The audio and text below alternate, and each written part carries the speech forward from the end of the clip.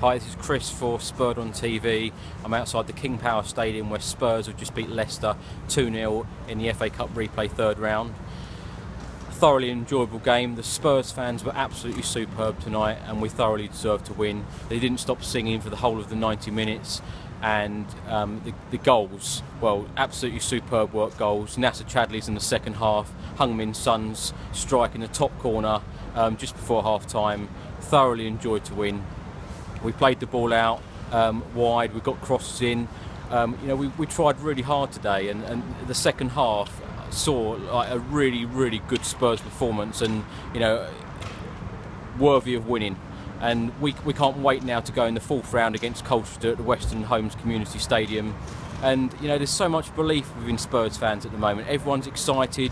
Everyone believes, you know, from the fan cams that you've probably seen, everyone believes that we can win the FA Cup.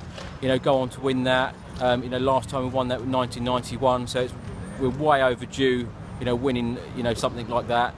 And you know, everyone's believing that we can finish in the top four as well because we've got such a great squad.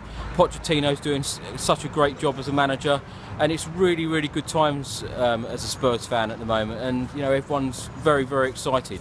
So come on, you Spurs! I'm sure we can do it.